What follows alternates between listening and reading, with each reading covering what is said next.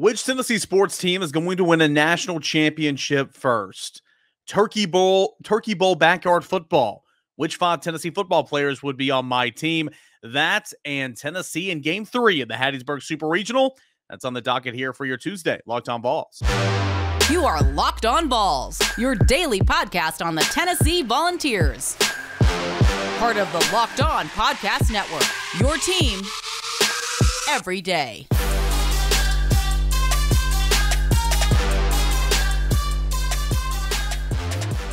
What is up, everybody? Welcome into it. This is Locked On Vols with Eric Cain. Appreciate you guys being here as always for making time. Locked On Vols, making it your first listen each and every day. Shout out every dayers for following and subscribing to us on YouTube, Locked On Vols YouTube channel, and wherever you get your podcast.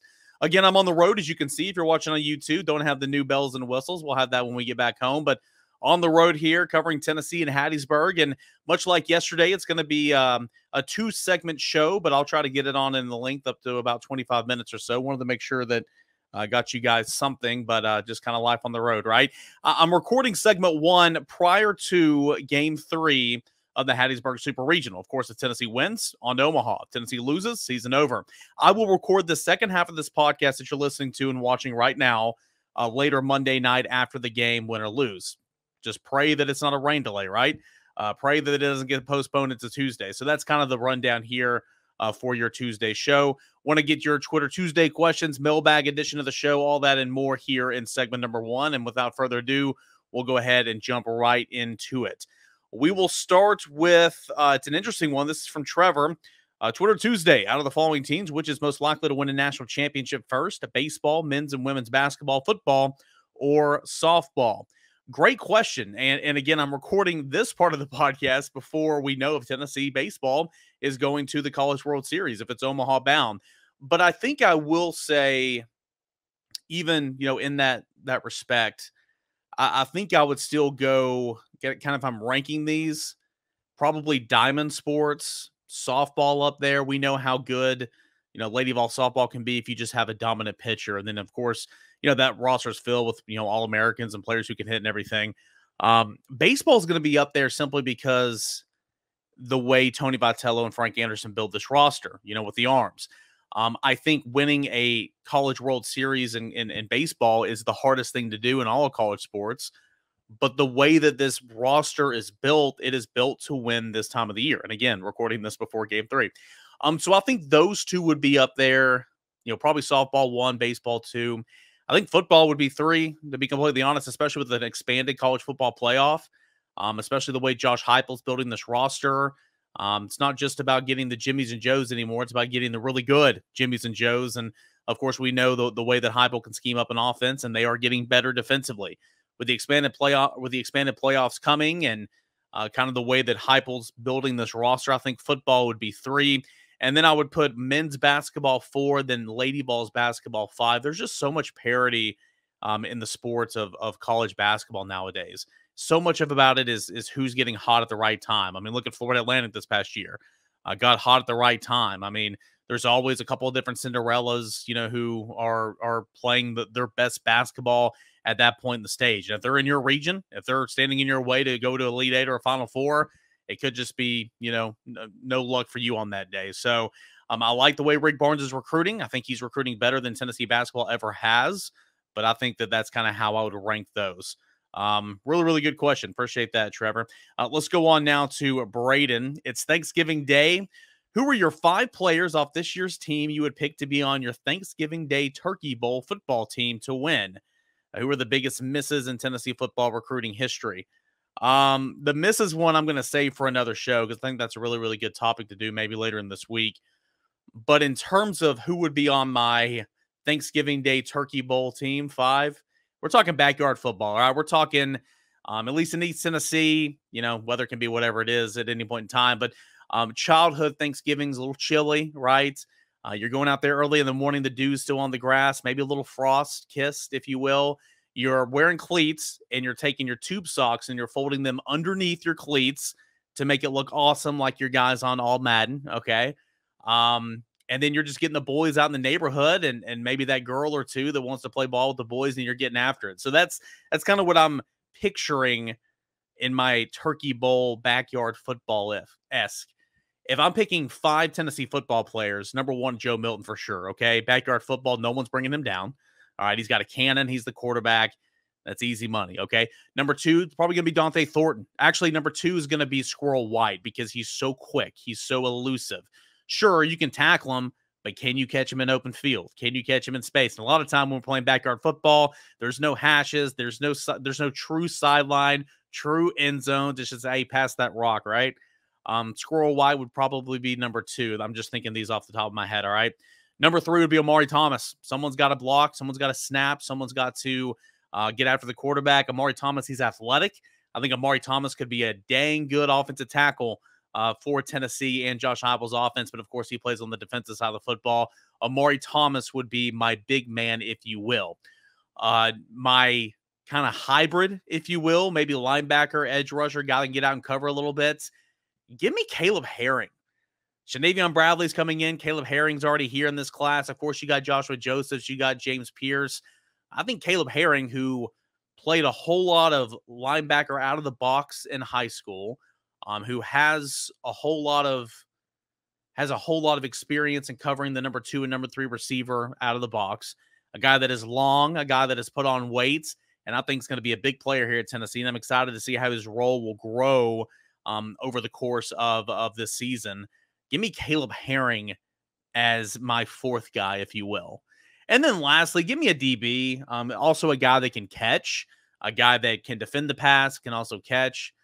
Um, give me, I think Brandon Turnage would be great in backyard football. I do. I think he's a gamer in real life. Maybe Doneiko Slaughter. I like that as well, but I think Doneiko Slaughter is at best when he has shoulder pads and a helmet on. Um, but I think something about Brandon Turnage kind of gets me thinking, all right, I think he'd be really good in backyard football. So in review, I would go Joe Milton. I would go Squirrel White. I would go Omari Thomas. I would go Caleb Herring.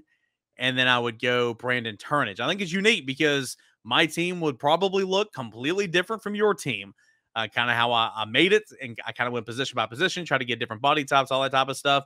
But here's the thing: if I got Joe Milton and you don't, I'm winning the football game because that sucker's going to run over you. We're playing. Oh yeah, we're playing tackle football. We're not playing no flag football or two hand touch. I mean, come on now. We're going to do this. We're going to do it right. Um, that's that that that's my team right there. So, um, good question. I would love to hear what you guys have to say in terms of who would be on your uh, Turkey Bowl football team. All right, let's go. We got a couple more here. We will go to my bookmarks on Twitter. Got a couple questions. This is from Brian. A couple football questions. Who does Tennessee lose after this season, counting those who could use a COVID year? All right. Um, this is off the top of my head, and of course it changes. And a lot of times we don't even know that it changes, changes because these guys take classes and they're ahead of the game and all that, and because the COVID year just makes everything so confusing. Joe Milton is out of eligibility after this year. Um, Jabari Small has a COVID year. I'm, I'm thinking of seniors right now. Jabari Small has a COVID year. Cooper Mays has a COVID year. Javonte Spraggins has a COVID year. Gerald Mincey, JJ Crawford still have years if they want it. Um, Ollie Lane is done after this year. He's using his COVID year right now. Wide receivers, Bru McCoy has eligibility. Dont'e Thornton has eligibility. Squirrel White, of course, has eligibility. Ramel Keyton is using his COVID year right now, so he's done. Jacob Warren is done after this year. He's using his COVID year right now. McCallan Castles, his backup, tied in from the transfer portal, UC Davis. He's done after this year. So those are the big ones. And again, if I didn't mention them, uh, it's because I forgot or because they're not even a senior right now.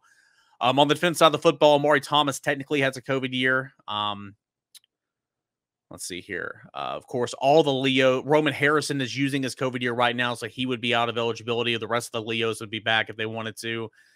Um, Omarr Norman-Lott has another year or two. Bryson Eason, I believe, has a COVID year. You got to remember, guys, a lot of these guys will not play that COVID year, or um, if they have an opportunity to go to the NFL draft, they will go to the NFL draft. I'm just trying to answer the question. Um, Dominic Bailey has has more years, I believe. Let's see here. Tyler Baron has another year, I believe. Yeah. Um, I know I'm forgetting some people on the defensive line, but no, I think those are the seniors. I think those are the seniors right there. Let's go to linebacker. Keenan Pili is out of eligibility after this year. Aaron Beasley see here 19, 20, 21, 22, 23. Aaron Beasley, I think was yeah, I think Aaron Beasley technically has another year as well because he was a he was a red shirt. So if he wanted to use that COVID year, he could be a six year guy, if you will. um, but Keenan Pili's done, and then everybody else behind them is is underclassmen. Go to the secondary. Jaylen McCollough, I believe, has a COVID year. He does. Jaylen McCollough has a COVID year. Um, Wesley Walker's done after this year, I believe. Brandon Turnage is done after this year, I believe. Kamal Hadden, I believe, has another year. Um, and then the rest are are underclassmen. So uh, I hope the hope that I just kind of freelance that um, and, and kind of answered off the top of my head. I, I, think that I'm not missing it. But Charles Campbell, the new kicker coming in, um, this is his last year of eligibility. Jackson Ross, the punter, can can punt for three more years after this one so yeah, I hope I hope I answered that question to uh to, to your liking there. Uh, number two, which team from the West are you most excited about to see Tennessee return to playing at least once every two years? I know a lot of you guys are going to say Auburn because Tennessee played Auburn every single year. I think that'd be a whole lot of fun. Um, I know this doesn't mean the West, but I'm really excited about Tennessee playing Texas. I am, and I know that's not SEC West. So I'm just saying I'm really excited about Tennessee playing Texas. I'm excited about Tennessee playing Oklahoma because I have family ties. Uh, my father, you know, was born in Oklahoma and moved here to East Tennessee when he was five. Um, and so I always thought that was kind of interesting seeing Oklahoma play on television. Um, SEC West, though, um, probably Auburn, to, to, be completely honest with you, probably Auburn. I like playing LSU. I think LSU is one of the you know storied programs in college football, so that would be really really fun for me. LSU probably is my answer, but I think Auburn would be the answer to the to, to most of the people listening right now. Uh, Jason says, "What do you see? Who do you see stepping in as a leader on defense this year?" To me, it's Beasley, Pili, or Omari Thomas making sense. Interested in hearing your thoughts. Yeah, all three of those guys are going to be counted on to be leaders. Pili's brand new, but he's got to step in and, and play and step in and earn the respect of everybody. But you know, playing linebacker, you've got to be a leader. You're the middle layer of the defense. You've got to be a leader. I mean, that just, just kind of comes with the territory. And, and Beasley, he leads by example, and I think he's gotten more vocal a little bit but he's not the most vocal guy. He's more, you know, watch me work and follow my lead type guy. Omari Thomas, 100% as the leader on the defensive line and for the defense. And I mean, you know, I know a lot of you guys don't like this, but Jalen McCollough is a leader back there because he's been here forever and they follow his lead. And um, I would say, you know, Wesley Walker's, uh, you know, Warren Burrell as well. They, have been here a while. So a lot of people just kind of follow their leads. But I think Beasley, Pili, and, and uh, Omari Thomas, great answers for you. Tyler Baron's another name in there, but you know, some people lead, some people follow, and I think the other three, you know, kind of fit more that category, in my opinion, uh, than Tyler Baron, even though he's a really, really good player. Good, good answer there, and already some. You know, your three were probably the best three I could imagine. All right, let's go to Aaron. This will conclude our mailbag portion of the show, and then we'll talk baseball. Uh, football related, do you think Tennessee running back room is getting slept on? I personally think so, and I mean very slept on. I think this year you're going to be amazed, right, and small or good, yes, but I think – with what we've seen from uh, Sampson last year? Is it just the beginning? Thoughts? And then he goes on to add to this. I feel like Sampson doesn't get the amount of touches he feels he's deserved. Then he'll be chomping at the bit with some NIL deals for him to transfer after this season. I hope I'm wrong and he is a VFL. Well, that's just the nature of college sports that we live in, right? I mean, Jabari Small contemplated. I feel like, and it wasn't Jabari Small. He he was hurt this offseason, but really it was it was Jalen Wright that there were some rumors out there that he was going to enter the portal and he got a a new deal to kind of stay here, if you will. But um, just kind of the era we live in, right? Um, you recruit well. Not everybody's going to play. Not everybody's going to be happy. Um, I do to answer your question. I do think Tennessee's running back room, top to bottom, is solid. I think it's one of the best in the SEC. I truly do. I think Alabama's is up there. Um, I think that uh, you know Alabama's is definitely up there, and I think that Arkansas is probably up there. I think Tennessee's up there. I do. Um, there's not a star. I think Jalen Wright could be a star. I think Jalen Wright's going to break out this year in a big way. But Jabari Small is a tough runner. He's been here a while. Jalen Wright's a tough runner. He needs more opportunities. Dylan Sampson splash. He needs some more opportunities. Cam Seldon should get the ball a couple times in some certain L packages, uh, personnel packages. Hopefully, uh, we'll see. But and even DeSean Bishop had a really good spring, and uh, he's not going to play a big role this fall, in my opinion. But I mean, top to bottom, you got some depth there, and, and that's really really good. So we'll see how it all transpires, guys. I appreciate it as always. Uh, like I said, this first portion of the show I'm recording before Game Three of Super Regional Play in Hattiesburg if Tennessee wins. It's on to the World Series. If Tennessee loses, well, it's on to the offseason. When we come back, I will recap what was saw, what was had at Pete Taylor Park in Hattiesburg, Mississippi, and tell you all of my thoughts on Tennessee going to Omaha or Tennessee season coming to a close. That is coming up next right here on Locked On Vols. But hey, uh, I want to tell you guys about a proud sponsor of the show. That is FanDuel Sportsbook. NBA playoffs going on right now. Happened last night. Uh, you can make a fast break during the NBA playoffs at FanDuel Sportsbook. Right now, new customers can get a no sweat first bet up to $2,500. That is $2,500 back in bonus bets if your first bet doesn't win. Uh, great promotions every single day, not just on the NBA playoffs, but also um, on Major League Baseball, on NASCAR, on weekends. You guys know that's where I like to make some money. Um, on futures for college football, we talked about win totals all the time right here at FanDuel Sportsbook for the SEC. Tennessee sitting at nine and a half. Where do you like that total? Over or under? All those futures and everyday stuff, including the no sweat first bet over at FanDuel Sportsbook. Safe and secure, easy to use app where you get paid instantly for your winnings. There's no better place to get in all that NBA action right now, that playoff action, than over at FanDuel Sportsbook. Visit fanduel.com slash locked on and get a no sweat first bet up to $2,500. That's fanduel.com slash locked on. FanDuel, official sports betting partner of the NBA. All right, guys, we got a final segment left here of your Tuesday edition of Locked On Vols. Welcome into it. Um, as I mentioned, as I explained in segment one, I recorded that segment uh, well early in the day. That was before the Tennessee baseball game. That was before another four hour rain delay. And I said I would record the second half of this podcast, a little two segmenter after the game, depending on, you know, well, you know, what happens in Tennessee baseball.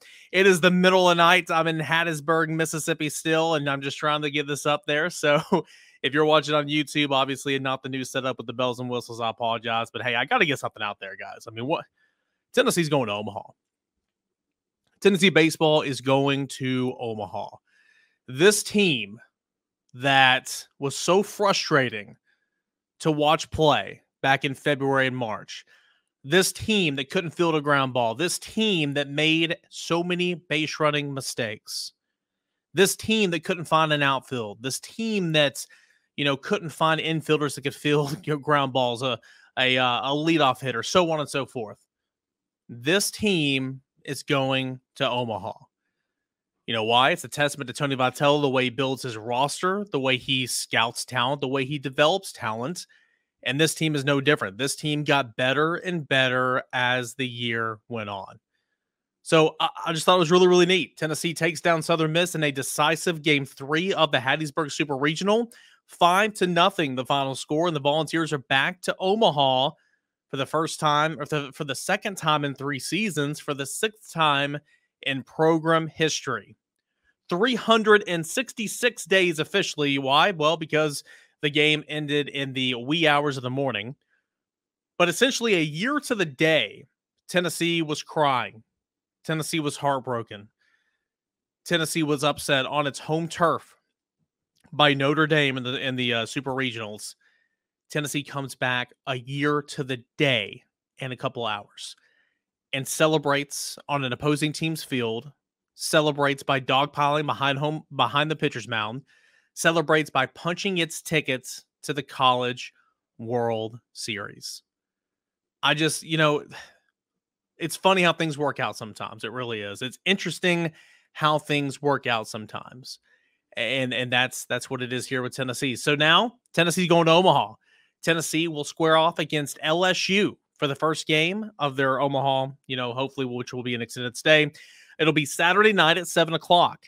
Um, we'll get into breaking down the Omaha bracket. We'll get into breaking down the College World Series and all that type of stuff. Stanford won on the one of the most unique ways and ever, right? Not an Arkansas way, but still, you know, those were the two tickets punched, the two final tickets that were punched. Tennessee was the final ticket punched to Omaha and uh, it was a late one. Over 23 hours of rain delays combined this weekend.